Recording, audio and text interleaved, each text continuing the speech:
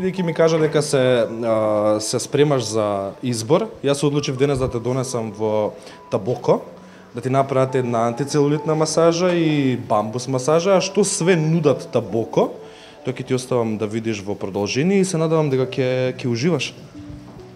Се надевам и јас исто.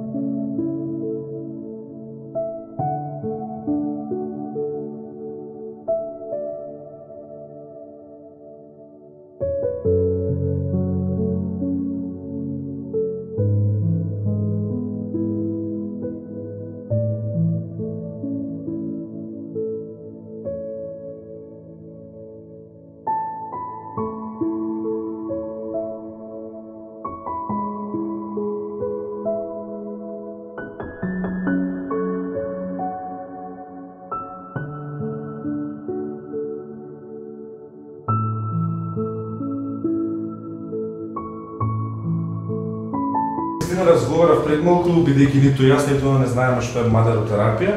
Прво ќе те ќе те прашам да ни објасниш што е мадеротерапија и да ни покажеш нешто од, од техники.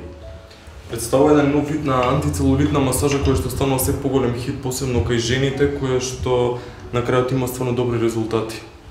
Може да ни покажеш каде има Кристина целулит? Комплетно има по цела нога кој што може да се примети. Ево комплетно се приметува ќе целиот целулит кој што го има на нога. Добро. И како иде тоа со со онкологијата?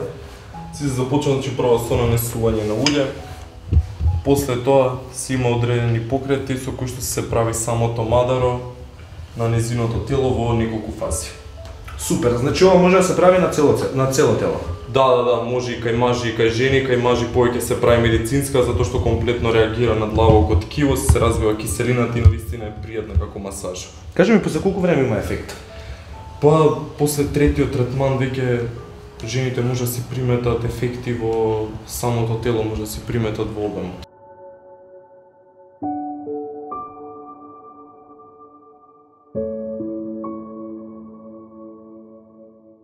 Чеки се, доста мадаро. Ајде да видиме што е бамбус ствари, бамбус масажа и како изгледа таа. Да, да, доста се поспецифични, постара mm за разлика од мадерото, со тоа што бамбусот комплетно реагира на длабоко ткиво и се прави многу поголема дренажа за разлика од мадерото.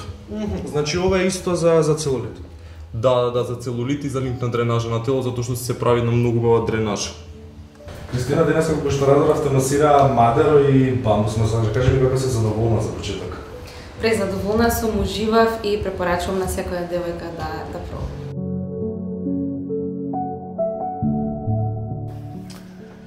Е сега откако ја избасираа Кристина бамбус масажа, мадеро, терапија, јас ќе ја однесам и на уште еден третман, односно на спа фиш третман.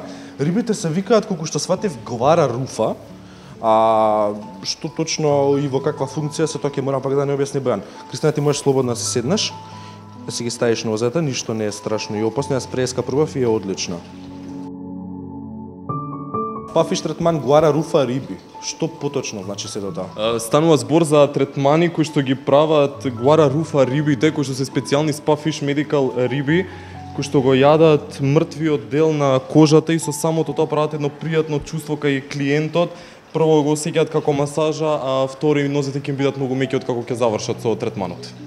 Значи ефективно у секој случај. Во секој случај ефективно и релаксирачко.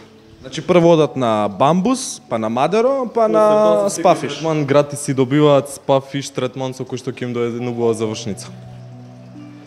Дами и господа, другари и другарки, и на самиот крај уште еднаш само топло ќе ви го препорачам табоко за сите оние кои што сакаат вистински да уживаат во мадеротерапија, мал милион на масажи, бамбус масажи и на крајот нели да заврши сето тоа со спафиш третманот и овие специјални риби, кои што и ги заборев како се викаат.